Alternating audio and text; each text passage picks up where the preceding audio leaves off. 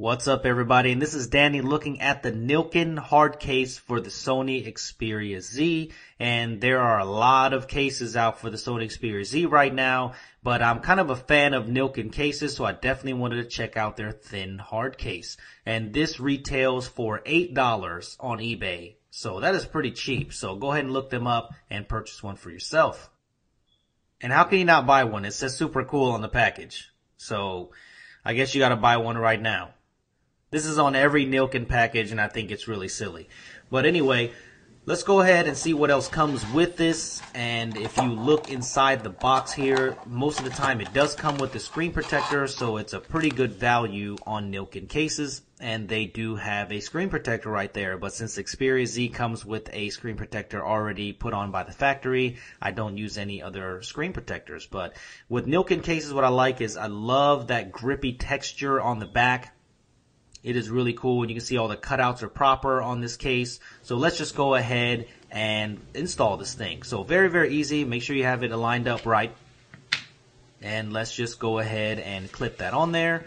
And this is very easy. You can do this with one hand and you can see that this is no problem at all. And you can see that that whole side with the power button and volume rocker is completely just gone out of there. They're just taking that out so they'll give you the tactility of the regular uh, button there and you can see how grippy that backside is and how much texture there is on that backside and it does feel really good. I do really like that. Uh, 13 megapixel camera and the microphone is cut out with no problems there and as I mentioned before the volume rocker side and power switch is also exposed and your whole bottom and the entire top as well is also exposed there so if you're looking for ultimate protection, this is not the case. So if you dropped it probably on the top or bottom, you'd probably still damage your device, but this is a very thin case.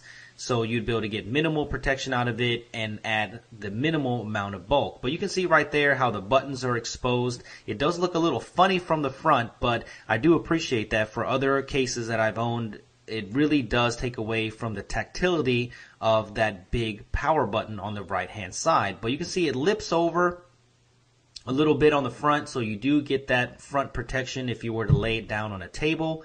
You would definitely get that protection there so you wouldn't scratch it if you were to lay it face down but the top and the bottom are exposed. So I think if you were to drop it on there, then you would really not get much protection out of it at all. But it feels really good in the hand, and that, and I really like Nillkin cases for that because it really does have grip and texture on there, and I think you will really, really like the way this feels in your hand. And it is very solid.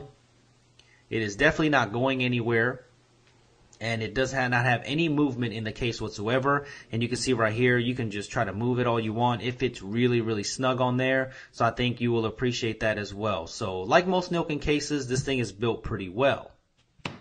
So just to show you there, it does have some front protection there and it might have some corner protection there too, but not right on the bottom or right on the top. I don't think you'd have much protection there at all. But it does give you minimal protection, and that's exactly what I need. I'm a fan of these thin cases, and I'm a fan definitely of this texture and grip on the back. But there are downsides to this because because of that texture and of the white color, it is definitely prone to staining. And I've had problems with other Nillkin cases like this too, where if you wear dark jeans or if you're in a dirty environment, you can see there that under macro, you can really see how dirty that's getting and you can clean this all you want, scrub it, it's not coming off. So, the uh, color transfer does happen on this white case. So if you don't want this to happen, then I would definitely get a black one for they don't happen at all. And especially if you have a black Xperia, I think the black case of this would be a perfect match. This is the case that I've been using uh, for about two weeks on my Xperia, and I really, really like this case. Even though it's dirty, I still use it. So that just goes to show you how good this case is for me and how much I like the way it feels. Until there's another case that comes out right now, this is the one that I'm using. And there are other big name cases that are coming out soon that I hope to test.